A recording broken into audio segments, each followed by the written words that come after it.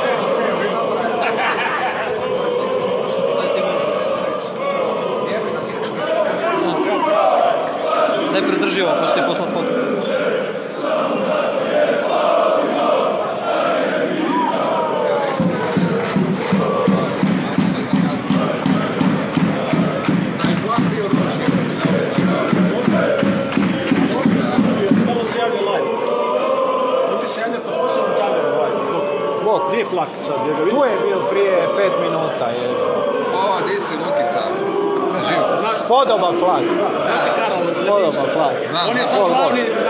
Ja sam bio kod njega na Da. praksi, ali me se ne sjećam više. Blaženić. Da, da. Da, imaš ono tako. A to one dvotjedne prakse kad su Da, nas sa PPZG-a slali, da, pa sam bio dva tjedna, znam da si ti da, bio, ti i da. Flak ste mi bili glavni. Da. I Delač je bio, još tamo, još je tamo, a je, on je legenda, je. da. On je bolji sebi. Jel tu? Nije, nije.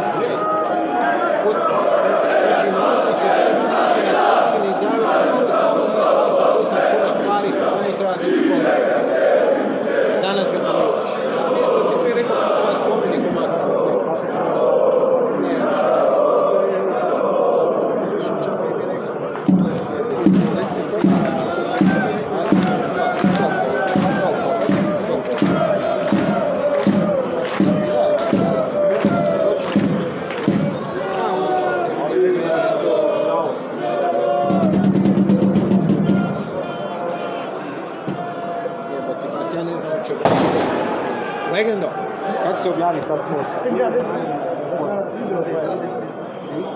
Aha, tu je. Sad, sad to opet se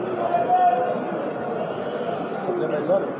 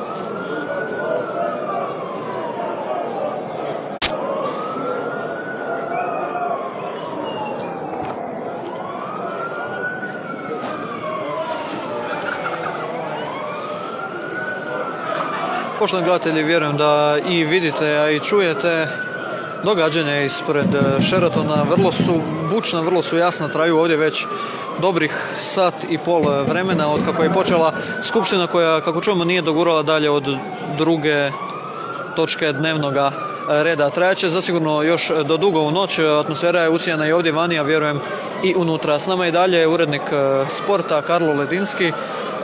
Karlo, evo, vidimo ovo bi moglo potrajati do dugo u noć.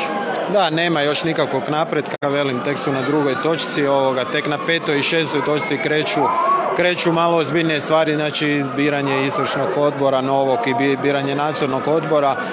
Ovoga, veliko je pitanje da li će se to danas izabrati nekako, mislim da prije, prije da neće, da ćemo možda i za dva mjeseca imati novu skupštinu, to je u roku od dva mjeseca, jer velim, unutra je stvarno situacija na rubu incidenta, na rubu kaosa, ovoga, nema niti poštivanja statuta, niti svi se bune, svi se svađaju međusobno, Uh, velim, žaloste na sve skupa slike uh, i žaloste svi ljudi koji vole Dinamo, sigurno im je teško to gledati, da je u stvari takva uprava i takvi čelnici kluba da se ovo dešava. Evo sada da, kažeš vatrogasci, evo sada je ovdje stižu, ima nešto i policije, promet je ovdje djelomično je blokiran, znači na rubu incidenta je situacija unutra, a bome evo i, i vani je pa vani Bad Boys za sad samo šalju poruke, za sad je sve u miru, protječe, nema nekih incidenata, nije do sad reagirala niti policija, imaju ljude e, sa megafonima koji smiruju situaciju, koji stalno viču nemojte bacati bakle na cestu,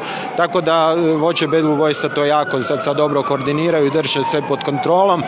Pretpostavlja se da bi, da bi, da bi situacija mogla eskalirati e, samo u slučaju da pobjedi Zorića varijanta. Evo sada stižu vatrogasi, očito se nešto zapalilo.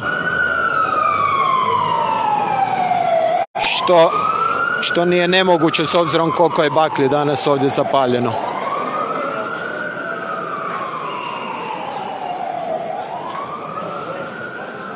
E, hvala ti Karlo za sada, evo pratit ćemo i dalje što se događa, valjda spomenuti ovaj dio upravo kako je o odluci ove skupštine odvisi sudbina stadiona, tu je grad poslao vrlo jasnu e, poruku.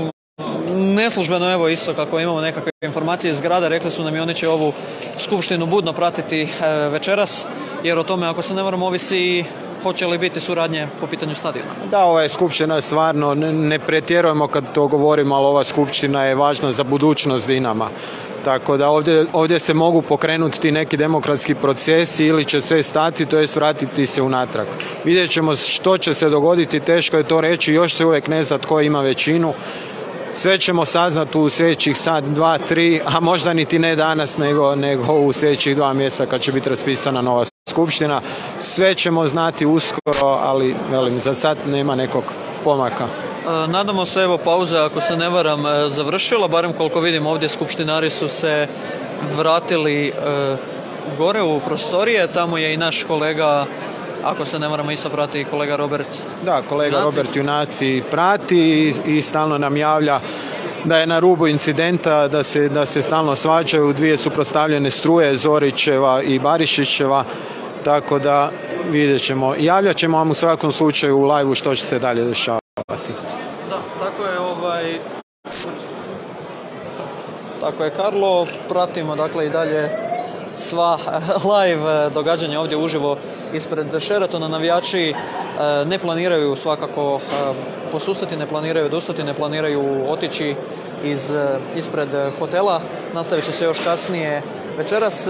Pamtiš li ti sad možda kada već razgovaramo, pratiš Dinamo godinama, ovaj, od djetinstva možemo se reći, Pamtiš li da se ikada ovako ova mobilizacija, podsjeća li te možda na nešto već? Naravno, znam na što ciljaš, podsjeća na Valentinovo, na 14. Povratak imena. druge 2000. povratak imena Dinamo. Mislim da, da se svi Zagrebčani i svi ljudi kojima je Dinamo pri srcu točno sjećaju gdje su bili tog dana ovoga i svi se sjećamo tih scena lijepih eh, kad je Zajec Zeko izašao van i rekao imamo Dinamo ovoga, tako i ovi navijači danas iščekuju ili sljedećih dana da će izaći neki novi Zajec Zeko vjerojatno u Dario Šimić u stvari i da će reći imat ćemo opet uskoro Dinamo pravi demokratični narodni klub koji će biti vaš i u kojem ćete i vi imati utjecaj. To je nekako ono, ono što ovaj, očekujemo možda da se na- najljepši možda scenarij koji bi se večeras eh, zasigurno ovdje dogodio. Mi ćemo vas poštovani gledatelji naravno izvještavati i dalje na našem portalu o svemu što se eh, događa iz minute u minutu u Dinamu. Evo, zamolit ću kolegu snimatelja da ostanemo još nekoliko trenutaka ovdje slikom uživo dakle ispred e, hotela Sheraton. E, Zaista evo spomenuo je Karlo ranije u razgovoru e, 2000. bila je nekakva prekretnica povratak imena Dinamo, vjerojatno će se i ove e, večeri, nadamo se e, svi Dinamovci i Zagrebčani, a i oni koji prate situaciju u nogometu sjećati, e, nadamo se po dobrome. Evo, ostanemo još malo uz kadrove navijača.